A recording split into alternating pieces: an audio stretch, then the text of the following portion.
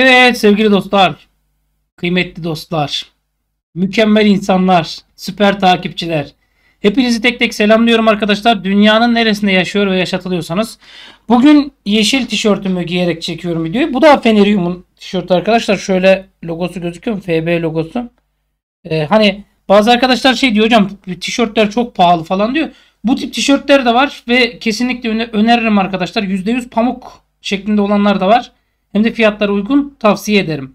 Dünyanın neresinde yaşıyorsa dedim. Londra Fenerbahçeliler topluluğu. Buradan özellikle selamlarımı iletiyorum. Özellikle 45 yaşında bir abimiz var. Ee, ona buradan selamlarımı iletiyorum. Yani yurt dışındaki dostlarımız gerçekten de bizden daha şeyler. Böyle nasıl diyeyim oturaklılar. Biz heyecan içerisindeyiz abi. Ne derseniz deyin. Ya ben kendi adıma söyleyeyim hop hop durup hop kalkan bir insanım. Hani bazen kendi kendime diyorum ki biraz daha sakin, biraz daha sakin. Bu kadar şey yapma, strese girme diye. Ama yurt dışındaki abilerimiz biraz daha böyle milliyetçi, biraz daha böyle bayrağın kıymetini bilen, ülkenin kıymetini bilen abilerimiz olabiliyor. Ee, burada şöyle bir şey söyleyeyim. Ülkemizdeki arkadaşlara da tavsiye ediyorum. Özellikle genç arkadaşlara. Sporun aşırısı şiddete giriyor. Dikkat edin arkadaşlar. Yani insanların sizin spor üzerinden tahrik etmesine, sizi sinirlendirmesine, başınıza iş açmanıza sebep olabilecek açıklamalar yapmasına izin vermeyin. Mesela son dönemde bunu bir şeyler görüyoruz da. Neyse ben önce başka bir şeye değineceğim. Ondan sonra o kısmı atla, atlayacağım arkadaşlar. Fenerbahçe'mizin kupa mesaisi, kupa macerası başlıyor. Türkiye Kupası'nda e, biliyorsunuz Fenerbahçe'miz bugün Ziraat Türkiye Kupası'nda Adana Spor'u Kadıköy'de konuk edecek. E, skor tahmininiz var mı? İçinizde doğan isteği bir skor tahmini var mı arkadaşlar? E, yani Beşiktaş Eyüp Spor'u 4-0 yendi. Kasımpaşa evinde TFF 1. Lig ekibi Bandırma Spor'a 1-0 mağlup olup elendi. Hani sürpriz olan buydu açıkçası. Sürpriz eleme olan buydu. Fatih Karagümrük e, Kırklareli Sporu Serdar Dursun'un 2 golüyle 2-0 yenerek son 16'ya kalmış. Serdar Dursun'un niye 2 golüne vurgu yaptım? Bilmiyorum. Mekke Ankara gücü Çaykur Rizespor'u 3-1 yenerek son 16'ya kalmış. Arkadaşlar bir şey söyleyeyim size. İşe gücü bırakın Ankara gücü Çaykur Rizespor Türkiye Kupası maçının özetini izleyin. Takımların lehine aleyhine hatalar zincirine bakın. Ankara gücünün verilmeyen bir penaltısı var. Ulan buna nasıl vermedin dersin. Verilen penaltısına da burada hangi müdahaleye penaltı verdin dersin. Maçı bir izleyin. Ben ömrümde ilk defa taç atışı için düdüğümü bekleyin şeyini duydum. İlk defa ömrümde hayatımda ilk defa taç atışı için düdüğümü bekleyin dedi. Evet yanlış duymadınız. Yani Ankara gücünü Emre Belezoğlu'nu ciddi anlamda tahrik etmeye çalışmış hakemler. Bilginiz olsun. Hani ben ee, ya benim yazamadıklarımı açıp izleyin de ne demek istediğimi görün arkadaşlar. Beşiktaş demişken aklıma bir şey geldi. Beşiktaş taraftarı Arda Turan için Arda Arda Turan paralar nerede? Seçil Erzan, Seçil Erzan, oley dedi. E, A Spor bu tezahüratın sesini kıstı arkadaşlar duymayalım diye. Ulan ben diyorum küfür etmiyor bunlar hani işin içinde kutsal değerler falan yok. Bu ses niye kısıldı diye meğerse bundan bahsediyorlarmış. Biz Fenerbahçe'mize odaklanalım mı? Biz bence Fenerbahçe'mize odaklanalım çünkü başka Fenerbahçe yok. Bu arada Serdar Dursun iki tane gol atmış arkadaşlar Karagümrük'te bilginiz olsun. Aklıma gelmişken de söyleyeyim. Yani ee, Maçımız da A Spor'da naklen şifresiz. Uzun zaman sonra şifresiz. Gerçi biz hep şifresiz izliyoruz. Yani yancı kurulu şifresiz veriyor ya bizim maçlara. Ziraat Türkiye Kupası 5. turunda. Bugün Adana Spor'u ağırlayacak. Ülker Stadyumunda oynanacak müsabaka arkadaşlar saat 21'de yani 9'da. Öğleden sonra 9'da. Son olarak Gaziantep Futbol Kulübü'nü 1-0'la geçip Gaziantep Futbol Kulübü'nü karıştıran Fenerbahçe ki Gaziantep Futbol Kulübü'nde Kolombiyalı forvet oyuncusu Brian Riaskos'un sözleşmesi karşılıklı feshedilmiş. Ulan İrfan Can kahveci. İrfan Can'a bir tane daha gol ekleyin. Bir gol daha ekleyin. Yetmez ama bir gol daha ekleyin. Yani Fenerbahçe e, yener hevesin kaçar derler ya. Heves kaçıyor tabi. Ritim kaçıyor. Heves kaçsa ne olacak? Ama İrfan Can Kahveci'yi bir kez daha buradan tebrik ediyorum. Biz nasıl kötü oynadığında, hoşumuza gitmeyen performans verdiğinde eleştiriyorsak iyi oynadığında da alkışlamasını biliriz. Bunu da söyleyeyim.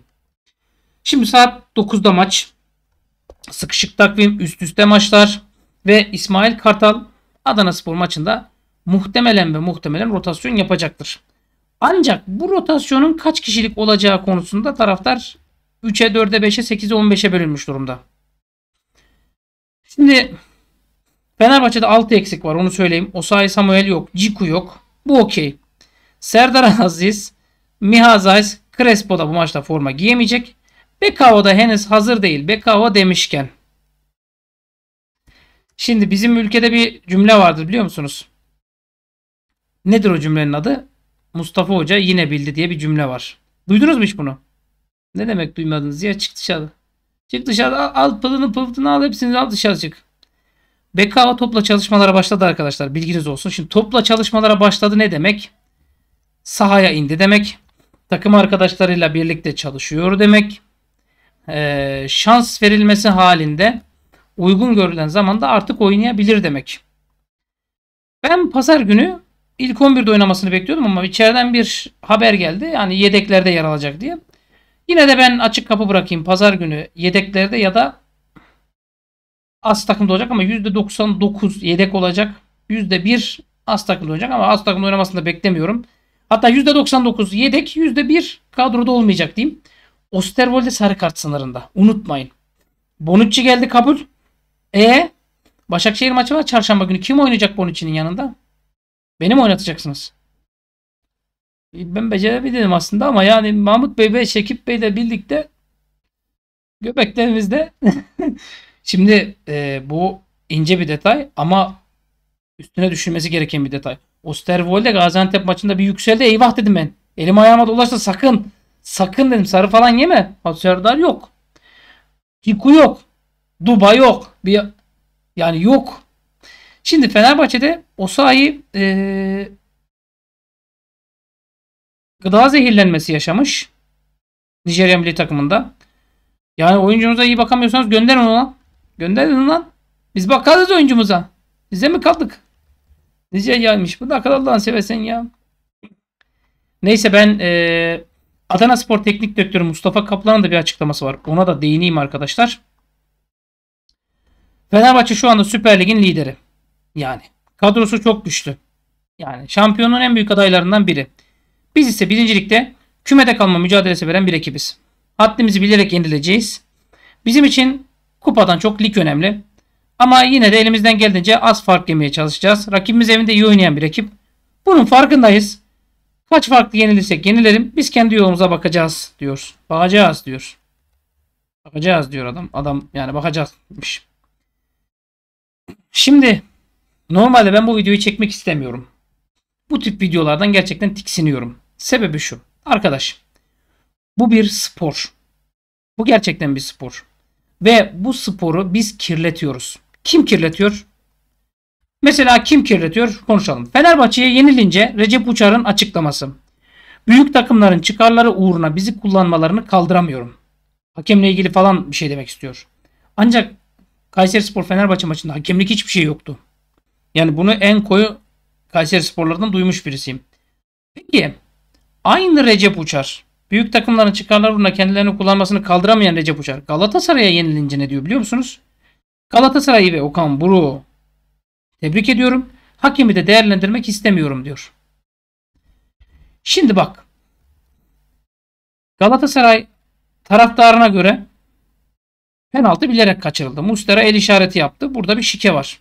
Fenerbahçe taraftarına göre demiyorum ama yanlış anlaşılmasın. Galatasaray taraftarına göre. Çünkü Galatasaray taraftarı kaçan her penaltıda herhangi bir işaret varsa bunun şike olduğunu söylüyor. Çünkü Gençler Birliği'ne zamanında Galatasaray oyuncusu şöyle yapmış böyle yapmış. O şikeymiş bu da şikeymiş öyle herhalde. Ben Galatasaraylı arkadaşlarım duruşuna gerçekten hayranım. Çok güzel bir şekilde duruşlarını çevirip 180 derece dönebiliyorlar. Mesela 6 6 Kasım Yok lan ondan bahsetmeyeceğim. 6 Kasım 2023 malum camia liderken Dursun Özbek diyor ki Fenerbahçe ve Galatasaray taraftarları Türkiye'nin %70-80'ini oluşturuyor. Ortamı germeye gerek yok. Neden böyle açıklama yapılıyor? Bakın. Ortamı germeye gerek yok. Hani iyilik meleği Dursun Özbek. Kanatsız. Öyle bir melek.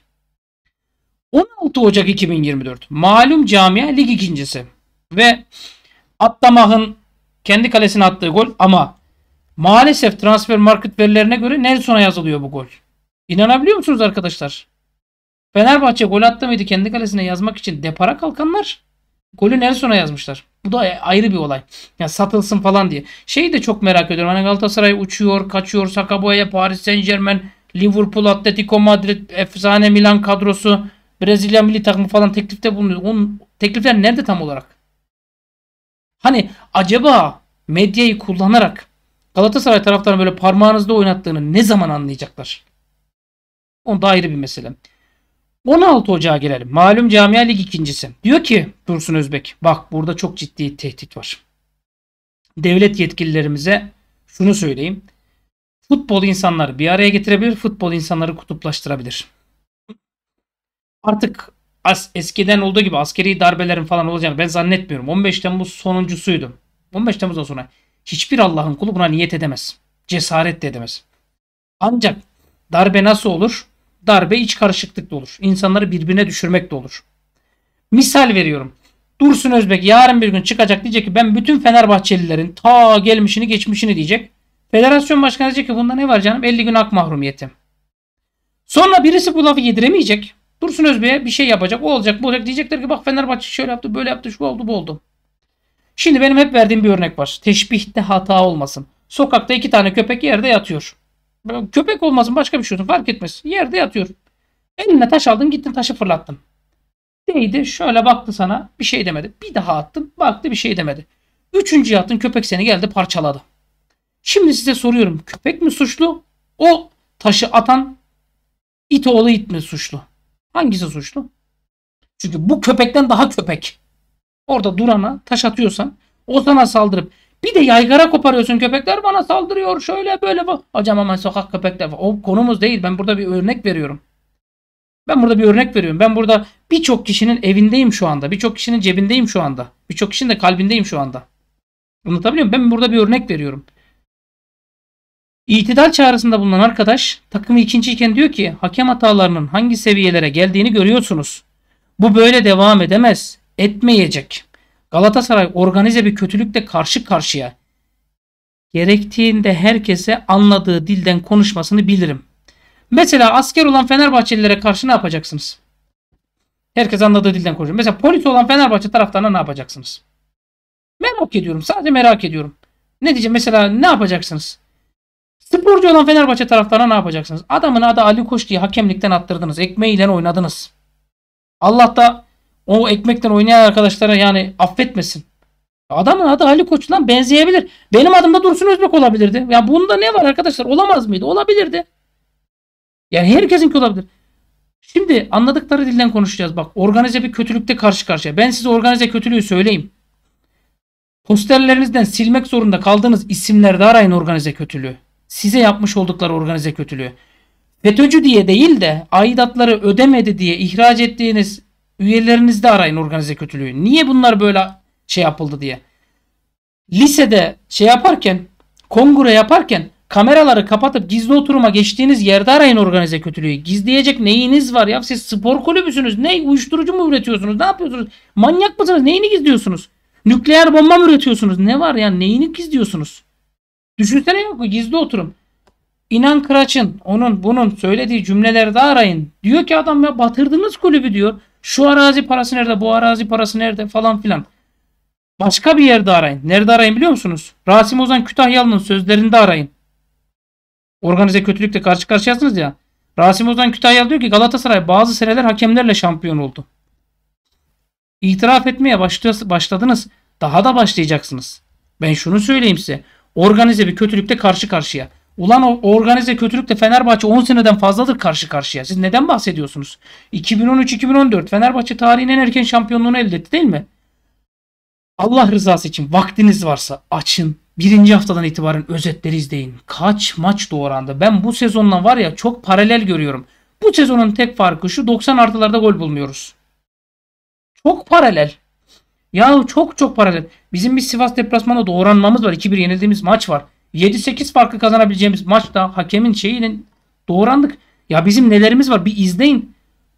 o sezonda yanlış hatırlamıyorsam Galatasaray'la ilk derbi berabere. Yok gerçi o sezon Trabzonspor'la beraberdik. Kayseri, Galatasaray 2-0 yendiydik sanki. Ee, başka kimle berabere kaldık ya? Evimizde 3 beraberliğimiz vardı. Ha Beşiktaş'ta kaldık 3-3. Trabzon'la kaldık. Bak Beşiktaş'ta Trabzon'la berabere kaldık evimizde. Bir de bir takımla daha kaldık da. Şu anda da listeyi açtım. Başka kim var? Neyse. Ya benzerliği anlayın diye söylüyorum arkadaşlar. Son haftalardan birinde Çaykur Rize ile berabere kalmışız. Benzerliği anlayın diye. Bu arada Beşiktaş'ta hem evimizde 3-3 kalmışız hem deplasmanda 1-1 kalmışız. Galatasaray deplasmanda yenilmişiz ama evimizde 2-0 yenmişiz. Trabzonspor'u deplasmanda 3-0 yenmişiz falan filan. Neyse. Demek istediğimi anlayın. Ahmet Çakar diyor ki Eyyam'dan en çok faydalanan takım Galatasaray. En çok mağdur olan takım Fenerbahçe'dir. Şimdi ben Galatasaraylı arkadaşları anlıyorum. Davinson Sanchez'ini anlıyorum. Öbürünü anlıyorum. Şunu anlıyorum bunu anlıyorum. Çok ciddi bir yatırım yapıldığının farkındayım. Sizler de farkındasınız ben de farkındayım. Şimdi birbirimizi kandırmayalım. Hani ee, eğer bu yatırım sonuç bulmazsa şemsiye ile ilgili atasözleri sosyal medyada bayağı yayılacak. Bunun da farkındayız. O yüzden elinden gelen bütün hamleleri kullanıyor. Bütün silahları kullanıyor. Bakın Ali Koç ilk seçildiğinde de aynı bu şeydeydi. Fakat arkasında duran yoktu. Her şeyi hakeme bağlıyor, her şeyi zemine bağlıyor, her şeyi bir şeye bağlıyor. Hiç kendine bir şey bulmuyor. Galatasaray'ın oynadığı top top mu? İyi de sahanıza geldiler. Şut atamadan maçı bitirdiniz. Ya canım onlar 86 tane şut attı. Ya yerden kalkmamak üzere bir oyun oynandı. Orada futbol terörizmi vardı ya. Futbol terörizmidir bu ya. Bu başka bir şey değil. Futbolun futbolun terörizmi budur ya. Futbol oynatılmamak üzere bir oyun yapısı vardı. Maçın hakemini öyle bir seçmişler. Yani öyle bir seçmişler. Aman Galatasaraylı oyuncu yere yattığında faul ver. İnanılmaz bir maçtı o maç. O maçı yabancı hakem yönetseydi bugün 7-0'ı 8-0'ı konuşuyorduk. Fredsiz halde. O maçı yabancı hakem yönetseydi. Ben size bir şey söyleyeyim mi? Türkiye'de Fenerbahçe ne zaman şampiyon olacak biliyor musunuz? Bak bu sezon olacak mı olmayacak mı ben size söylüyorum. Anahtarını söylüyorum. Bir Galatasaray oyuncusu kendini yere attığı için hakemden sarı kart yediği anda Allah'ıma binlerce şükür olsun deyin. Gidin şükür namazlarını kılın. Bu sezon şampiyonuz deyin. Ben size anlatıyorum ha. Yani. Şampiyonluk böyle olur. Şimdi Ahmet Çakar diyor ki Davinson Sanchez parasını almadığı için oynayamıyor. Bak Davinson Sanchez injury. İşte Sakaboya injury. Hani biz diyorduk ya ulan Fenerbahçe'nin hep futbolcuları sakatlanıyor. Bu Galatasaray futbolcuları e, evhamlı mı, eyyamlı mı, çartlı mı, curtlu mu? Niye böyle olmuyor diye. Al işte. Bak Fenerbahçe Dursun Özbey'e çok güzel bir cevap verdi. 3 Şubat 2023'te Dursun Özbey'in açıklamaları sonrasında yapmış olduğu paylaşımı retweetledi. Yani tekrardan paylaştı. Şimdi demiş ki sponsorluk imza atölyeinde maçta verilen hakem kararlarını izlediniz. Ligde standartsızlık söz konusu. Mesela ben Galatasaray'ın kazandığı penaltıyı Fenerbahçe'ye vermeyecekleri görüşündeyim. Al sana standartsızlık. Fenerbahçe'nin Kasımpaşa maçında bir penaltısı var Edin Dzeko'yla. Bu taraftan gösterirsen hiçbir darbe yok. Arkadan gösterirsen ayağa net bir vurma var. Ha ben bu darbelerin yetersiz olduğu görüşündeyim. Gaziantep'te Icardi'nin ayağına vuruluyor. Icardi yüzüyle, yüzüne vuruyor. Ben olsam o pozisyona penaltı çalmam. Kerem Aktürkoğlu'na hediye edilen bir penaltı var. Başakşehir maçıydı sanırım. O penaltıya hiçbir baba yiğit penaltı çalmaması lazım. Standartsızlık diyorsun hani lehine de var aleyhine de var. Şimdi haksızlığı hak kabul edenler diyor. Herhalde Galatasaray'dan bahsediyor. Bak Dursun Özbey'in Galatasaray'dan bahsettiğini düşünün. Hayalinize o gelsin. Haksızlığı hak kabul edenler yıllardır sürdürdükleri çırpınışların sonuna geldiler. Yemin ediyorum tam Galatasaray cümlesi. Buradan MHK ve TFF'ye sesleniyorum, uyarıyorum. Şampiyonluk bir emeklilik ikramiyesi değildir. Türk futbolundan emekli olmayı planlayanlar size sempatik gelebilir. Dursun Özbek ve Erdem Timur son çırpınışlarını yapıyor ya emekli olmalarını düşünün. Bırakın senin sonunda sessiz sedasız çekilsinler. Sahada adalet arayışımıza kimsenin gölge düşürmesine izin vermeyin demiş. Fenerbahçe'de ne diyor? Adalet ve ayrıcalık görsellerinin olduğu şeyi paylaşıyor. Şimdi ben size soruyorum. Takımın biri 15 penaltı kullanmış. Bilmem ne yapmış falan filan. Gelin gollere bakalım. Fenerbahçe'mizin ligde atmış olduğu 57 golün 7 tanesi penaltı golü arkadaşlar. 57'de 7. Galatasaray'ın 38 golünün 5 tanesi penaltı golü. Fenerbahçe'mizin attığı gollerin %12.2'si penaltıdan gelirken Galatasaray'da bu oran %13.2. İyi de hocam 57-38. Arkadaşlar aradaki 19 gollük fark nereye girdi? Nereye girdi bu 19 fark? Bu 19 farkı kim yaptı? Pendik deplasmanı. Sen de Pendik deplasmanı. İstanbul deplasmanı. Atatürk Olimpiyat. Sen de Atatürk Olimpiyat. Öyle değil mi? Öyle değil mi arkadaşlar? Değilse değil deyin. Konya ile evinde. Sen de Konya ile evinde. Kayseri deplasmanına gitti Fener 4 attı. Kendi hatasına 3 yedi. Sen oradan beraberliği zor çıkarttın. Sen evinde Kayseri 2-1 yendin. Bu kadar eksikle bu kadar şeyle bu mantaliteyle maçtan önce futbolcusunun sakatlanmasıyla falan filan çıkmasıyla bu zihniyette atlamanın bu beceriksizliğiyle kaçan penaltılar falan bu mantaliteyle çıksın. Fenerbahçe en az 7-8 tane de Kayseri Spor atar. Ama gel gör ki durum bu. Alp Eralp, Dursun Özbek, Alper Ulusoy'a Galatasaray'dan ne istiyorsun diyor. Bunu sorabilir. Ne istiyorsun diye sorabilir. Alper Ulusoy'un görev aldığı maçlarda Galatasaray 21 maçta 18 galibiyet 3 beraberlik kalmış. Ya sen ne istiyorsun Alper Ulusoy'dan? Yani 21 maçta 25 galibiyet mi diyor? Ben de soruyorum size ne istiyor tam olarak? Ahmet Çakar YouTube'da paralı trolleriniz ile Galatasaraylıları kandıramazsınız diyor. Şimdi Galatasaraylılar kanıyorlar. Çok rahat kanıyorlar. Ortada ne futbol var ne bir şey var. Icardi almış başını gidiyor. Başka memleketteyim. Oradan oraya buradan buraya geçeceğiz. Aşk yaşıyoruz meşk yaşıyoruz. Ya daha beter olsunlar. Daha beter olsun. Hiçbir parayı pulu ödeyemesinler inşallah. Daha beter olsunlar. Bana ne ya? Acırsam adam değilim. Daha beter olsunlar. Çaldık. Eğer çaldıkları bir hak varsa Allah çıkarsın. Gani gani çıkarsın ya. Gerçekten çıkarsın. Ya ben şunu anlamıyorum. İnsanlar gerçekten neye inanıyorlar? Neyin arkasındalar? Ama ben şunu söyleyeyim. Galatasaray haklı. Organize kötülükle karşı karşıyalar. Tüm kulvarlarda tam 91 gol atmışlar. Ligde puan farkıyla önümüzdeler. Üstelik başlarında ekonomik krize rağmen kulübe cebinden para koyan bir başkanlar var. Hala transfer yapıyorlar. Yani kurun içi çektiler. Gördünüz. Bonucci'yi çektiler. Ben hasetimden kuduruyorum. Herifler Bonucci kurunu çekiyor. Biz de Davinson Sanchez Efendi'nin nazını çekiyoruz. Icardi Efendi gelse de oynasa diyoruz. Bizde para bitti. Transferler patates çıktı. En önemli yıldızımız dünya turunda. Roberto Carlos'tan daha iyi dediğimiz Angelina'yı bir maç daha oynatırsak haşırttı Blackbird 6 milyon euro girecek. Kazımcan okeyde Arataş, Kazımcan Karataş dedik. Ne okeyde Arataş geldi ne Kazımcan Karataş kazandı. Altılı yattı. Yani hakemle falan peşlerine bir şekilde takıldık. Ama çok belli ettik. En son maçta Mustera'yı gördünüz değil mi? Kayseri oyuncusuna şuraya hatta kurtarayım diyor mesela. Yakalandık açıkçası. Bu böyle devam edemez. Bu böyle devam edemez. Organize kötülüğe karşı dikkat etmemiz lazım. Levent Tüzemen. Hocam bunları konuşma arkadaşlar. Bak. Kişiyi kendi silahıyla vurmak diye bir şey var. Hani şut çekiyorsun. Eline değiyor oyuncunun. Penaltı diyorsun halı sahada falan. Herkes diyor ya elmen yok diyor. Oyuncu diyor ki değdi abi diyor. Şimdi oyuncu değdi abi dediği anda ne yaparsın? Adamın diyor. Adamın diyor. Adamın diyor. Bak adamın diyor. Adamın diyor penaltı. Der penaltını kullanırsın. Şimdi ben size soruyorum. Bak, Levent Tüzemen'in cümlelerini iyi dinleyin. Bizde bu Tete'yi Ribery gibi anlattılar. Ancak bu Morutan'dan bile vasat çıktı diyor. Gelmeden önce menajer bir arkadaşıma sormuştum. Fiyatının da çok uygun olduğunu söylemişti. Ancak 6 milyon euro alıyormuş. 6 milyon euro alıyormuş. Yönetim Tete'ye kulüp arıyor ancak bir talibi yok. Şimdi 6 milyon euro alıyormuş. Tete'nin yıllık ücreti 6 milyon euro. Ya ben bunun yalan olduğunu düşünüyorum. Ya bunun troll olduğunu düşünüyorum. 6 milyon euro imkanı yok. Hani tabirimi yanlış anlamayın. Ben Galatasaray falan hakaret etmiyorum ama o kadar da salak değillerdir. Yani 6 milyon euro imkanı yok. Bu troll bir açıklamadır diye düşünüyorum. Yani aklıma başka bir şey gelmiyor. Anlatabiliyor muyum? Yani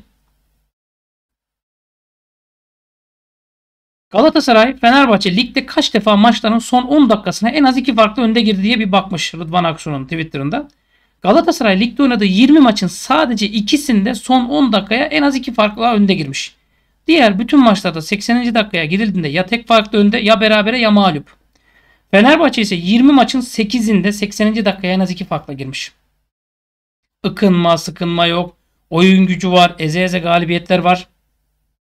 Ligde iki takım arasında bu kadar net bir oyun farkı varken puanın farkına sadece iki olmasının sebebi Türk hakemleri. Gerçekten Türk hakemleri. Her sene Fener'i şampiyon yapacaklar. Fenerbahçeliler de Galatasaray kullanıyor diyor. Arkadaş çıkarın son yılların şampiyonlarını. Süper Lig son 10 yılın şampiyonları. Çıkarın istatistiği. Koyun önüme. Ben de susuyum. Fenerbahçe 9 senedir şampiyon olamazken Galatasaray bu 9 senede 4 kez şampiyonluğu var. Şimdi aklı olan, zihni olan, beyni olan herkes şunu söyler. Arkadaş 9 senedir bunlar kullanıyorsa nasıl bunlar şampiyon? 2010-2011'den bakalım tarihe. Hadi Fenerbahçe'nin şampiyonluğu. 1. 2013-14. 2. Galatasaray'ın o araya sıkıştırdığı 3 şampiyonluğu var. Beşiktaş'ın da 3 var. 6.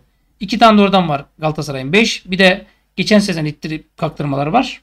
6. 6 Galatasaray, 3 Beşiktaş, 1 Trabzon, 1 Başakşehir. Ve Fenerbahçe 9 senede şampiyon yapılıyor. Değil mi arkadaşlar? 9 senede şampiyon yapılıyor. Valla gerçekten çok ilginç. Hani buna inanan kişiyle Max zeka aynı. Ben şunu söyleyeyim. Tete'de umurumda değil. Ribery'de umurumda değil. Galatasaray'da umurumda değil. Levent Tüzemen'de umurumda değil. Allah herkesin gönlüne göre versin. Kişi kötüyse kötülüğünde boğulsun. Kimseye zararı dokunmasın. Kişi iyi ise iyiliğinde böyle deniz derya olsun. Herkese iyiliği dokunsun. Ben eskiden çok dua ederdim. Allah'ım derdim. Parayı dağıtacaklara ver. Yiyeceklere değil. Hala da aynı şeyi söylüyorum. Allah parayı dağıtacaklara versin. Yiyeceklere değil. Yine aynısını söylüyorum. Rabbim Fenerbahçe'yi öyle bir şampiyon yapsın ki bunların elinde ayağında patlasın. Düşünceleri zihniyetleri perişan olsun. Yani bu kadar uğraşmaları boşa çıksın. Bu ayak oyunudur. Ne derseniz deyin bunun adı ayak oyunudur. Şampiyon olmak için her şey mübah değildir. Dünyada bazı değerler vardır. Anlatamayacağınız değerler vardır. Evladınıza, çoluğunuza, çocuğunuza ırkçılık değil, faşizm değil. Yani şu değil, bu değil. Anlatabiliyor muyum? Şu değil, bu değil. Ama ortada şöyle bir durum var. Birileri gerçekten ortalığı karıştırma peşinde. Fenerbahçe'nin itidalli, sakin davranması lazım. Hocam İsmail Kartal ilk döneminde de şampiyon olabilirdi aslında diyorsunuz ya. Olamazdı. Olamazdı arkadaşlar. O süreç doğru yönetilmedi. Fenerbahçe otobüsü kurşunlandıktan sonra ya onlar bulunacak ya biz çıkmıyoruz düşürün ulan bizi ligden diyebilseydi şu anda biz çok başka şeyler izliyorduk. Bir takımın otobüsü kurşunlanmış. Şimdi düşünsenize ya Galatasaray'ın başına benzer bir olay geldiğini düşünün. Fenerbahçe yöneticisi çıkacak otobüsün içinde dalga geçecek ve bunu görselleştirecek. Bunun adı ne olurdu? Hani ne çocukluğu derlerdi buna? Yani haylaz çocukluk derlerdi. Bunun adı bir şey haylaz çocukluğu olurdu. Ya biz bu süreçlerden geçtik. Biz bu süreçlerden geçtik. Şunu da söyleyeyim. Bugün Trabzonspor takımı Galatasaray'ın yıllarca bayraktarlığını yaptı. Yıllarca Galatasaray bayrağını salladı durdu. Hani bordo mavi falan filan hikaye. Sarı kırmızı dedi durdu. Galatasaray'ın şampiyonluğuna sevindi. Aman Fener şampiyon olmasın da kim oluyorsa olsun dedi. Bilmedi ki yarın bir gün başında bulacak. En son şu Galatasaray stadında e, neydi o Deniz Ateş Bitnel'le perişan edildikleri, mahvedildikleri dünya tarihinin en çirkin maçlarından birini yaşadıkları maçta tamam dedim anladılar. Gene anlamadılar. Trabzonsporlu bir hocam vardı Nazım Hoca. Derdi ki it derisinden post Galatasaray'dan bize dost olmaz derdi. Trabzonspor Fenerbahçe ile dost olsa derdi o zaman lige adalet gelir derdi. Ben bu cümleyi kavrayamazdım. Şimdi gerçekten kavruyorum. Eğer Trabzonspor Fenerbahçe ile dost olsun harbi harbi söylüyorum bu lige adalet gelir. Gerçekten söylüyorum bak. Zaten böyle bir dostluk kurursun. Emin olun Beşiktaş da bu ittifakan yanına gelecek. Şu anda dikkat edin. Hani diyorlar ya yeni nesil Fenerbahçeli olmuyor. Yeni nesil Galatasaray'dan tiksinmeye başladı. 10 sene önce herkes Fenerbahçe'den tiksiniyordu. Diyordu ki ulan diyordu. Yani Fener olmasın da kim olursa olsun. Şimdi ne diyorlar biliyor musunuz? En koyuk tanıdıklarım ya. Artık Galatasaraylılar bile şunu söylemeye başladı. Abi sizin olmanız lazım şampiyon. Bunu sağladılar. Tebrik ederim. Antipatiyi ürettiler. Aşkın olayım, şaşkın olayım falan filan elinden geleni yaptılar ama yemezler. Şu e, Suudi Arabistan konusuna da değineceğim. Hadi Fenerbahçe Atatürkçü. Atatürk deyince bu ülkede insanların aklına gelen ilk takım Fenerbahçe'dir. Ben bunu kullanmak, bir şey yapmak, prim kasmak için söylemiyorum. Ben bunu doğrular söylemek için söylüyorum. Hadi Fenerbahçe Atatürkçü. Atatürk'e bu kadar şey yaptı. Sahadan çekildi. Sen niye çekiliyorsun? Çekildikten sonra niye dik duramıyorsun? Niye omurgalı hareket edemiyorsun? Biz de çekildik arkadaş. Fenerbahçe Başkanı gelip boğazımıza yakışmadı, yapışmadı ki böyle demiyorsunuz. Ben hakemlere de söylüyorum, TFF'ye de söylüyorum. Kendi kararında bile bu kadar tutarsız davranan bir takım yarın sizi de satar, sizi de yem eder, sizi de mahveder. Benden size uyarması. Bu zihniyetle devam edin. Bak son iki maçta Galatasaray'ın aleyhine iki tane penaltı çalındı. Umutlarım yeşerdi. Kaç maçta çalınmadı? Kaç maç hakları şey yapıldı? Ya ben bunu Fener'e verilsin verilmesin dedim ya. E, Fenerbahçe'ye Ceko'ya yapılan penaltı. Şey Fred'in ayağına vurulan penaltı. Net bir vurma var. Aynı vurma Gaziantep'te Icardi'ye yapılıyor. Kur'an'a el basıyorlar bu penaltı diye. Fenerbahçeli oyuncuya vurur ama bu penaltı değil diyorlar. Ha şunu da söyleyeyim arkadaşlar. Rating tersle gelir. Ben şimdi desem ki Galatasaray küme düşürülecek. inanın 50 bin izlenir video. Ulan 30 dakikada Galatasaray'ın düşeceğini anlattı derler. Ben şimdi desem ki Galatasaray şampiyon yapacaklar. Hocam zaten malumun ilanı. Görmüyor bu kadar hakemde kolluyorlar dersin. Fenerbahçe ligden çekiliyor desem yine 50 bin izlenir. Çünkü ters psikoloji bizde her zaman işe yarar. Fenerbahçe'mize başarılar diliyorum. Lafı çok uzattım ama affınıza sığınarak bu videoyu çekiyorum. Sebebi de şu arkadaşlar birçok kardeşim şunu söylüyor. Ya evimizden birisi gibisin. Fenerbahçe muhabbeti etmeyi çok seviyorum seninle. Sen konuştukça dinleyesim geliyor diyorlar. Bakalım kaç izlenmeye sahip olacağız. Nasıl tepkiler alacağız. Hep birlikte izleyeceğiz. Aklınıza helal edin arkadaşlar. Görüşmek üzere. Bir video daha sıkıştırayım araya da orada da transfer konuşayım. Bunu en azından kapatayım.